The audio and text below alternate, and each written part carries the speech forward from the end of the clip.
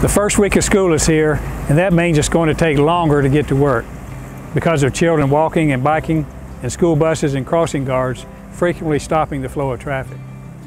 Let's all do our part to make sure our children get to and from school safely. Drivers, slow down in school zones and wherever and whenever children and buses are going and coming from school.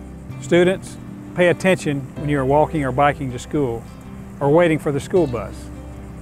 Use the crosswalk and obey the crossing guards. They are there for a reason. Keep your eyes on where you're going and not on your cell phone. Remember, tragedy can happen in an instant. Everyone has a role to play in safety.